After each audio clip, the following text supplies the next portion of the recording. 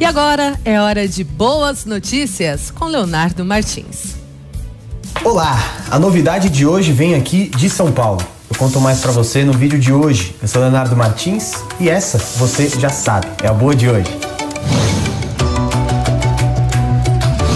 Os dados divulgados nesta terça-feira pelo governo de São Paulo são positivos. O índice de ocupação de leitos de UTI em São Paulo permaneceu estável nos últimos dias. Na Grande São Paulo, de segunda para terça-feira, a ocupação recuou de 88,1% para 87,7% dos leitos disponíveis. O índice, que até a semana passada vinha aumentando, agora se estabilizou na faixa dos 70% a 80%.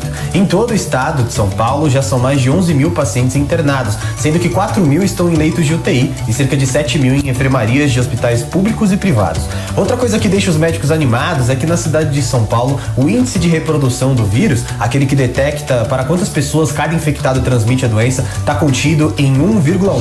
Ou seja, uma pessoa contamina em média só mais uma pessoa. Esse índice, para você ter ideia, um tempo atrás era de uma pessoa para três a gestão municipal de São Paulo também mostra estar tá cumprindo com a sua obrigação. Foram criados até agora mais de mil novos leitos de UTI na cidade, onde só haviam 500 antes, isso de hospitais públicos. Além disso, dois hospitais de campanha foram montados e as vagas de enfermaria foram ampliadas em outras unidades. Então, minha gente, se continuarmos seguindo o isolamento social e as medidas de precaução, São Paulo, que é o epicentro da doença no Brasil, vai mostrar índices cada vez mais positivos e estáveis.